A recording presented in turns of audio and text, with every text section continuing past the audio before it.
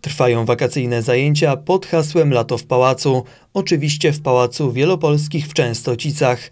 Pracownicy zachęcają do zwiedzania wystawy stałej oraz ekspozycji czasowych, uzbrojony po zęby i na serio rzeźby Henryka Cichockiego. Lubimy mm, poznawać historię i oglądać e, różne e, dzieła, czy to właśnie porcelany, czy obrazy, rzeźby. Maluch z nami też dzielnie e, chodzi. E, A zdecydowałyśmy się na te zajęcia, no bo wiadomo, e, są wakacje, to żeby dzieci się nie nudziły, a żeby spędziły czas przyjemnie i pożytecznie. Pierwszy turnus odbył się na początku lipca.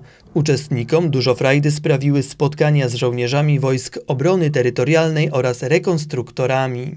Pan Mateusz Klewicki, który jest rekonstruktorem, opowiadał o e, tym, jak wygląda dzień na planie filmowym. E, dzieci mogły też przymierzyć e, stroje, m, dotknąć rekwizytów, także też e, było wiele emocji w tym dniu. Drugi turnus rozpoczął się w poniedziałek. Uczestników odwiedził leśniczy. W planie na kolejne dni są m.in. warsztaty architektoniczne, zajęcia związane z powstaniem warszawskim oraz wycieczka do Izby Pamięci Cukrownictwa.